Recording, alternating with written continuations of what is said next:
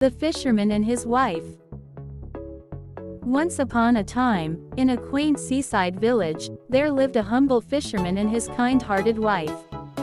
One day, while casting his net into the shimmering waves, the fisherman pulled out a magical fish with shimmering scales.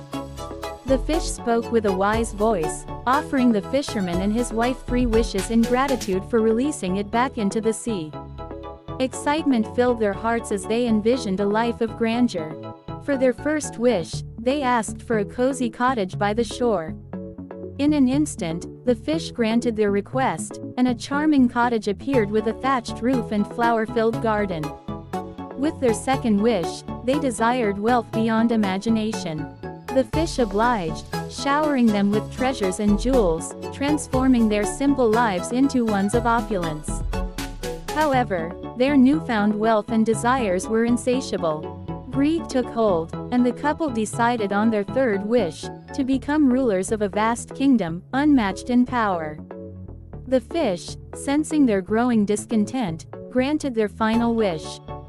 The fisherman and his wife found themselves on thrones of gold, adorned in regal attire. Yet, with each passing day, their hearts grew heavier as the burden of ruling a kingdom proved more challenging than they had imagined. In their pursuit of grandeur, they had lost the simplicity and happiness of their former life.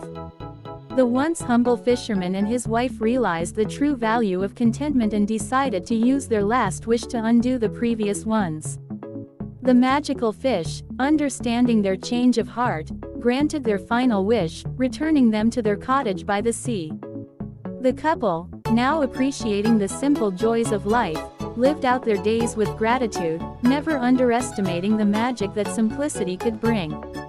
And so, the tale of the fisherman and his wife became a lesson in humility and the true meaning of happiness.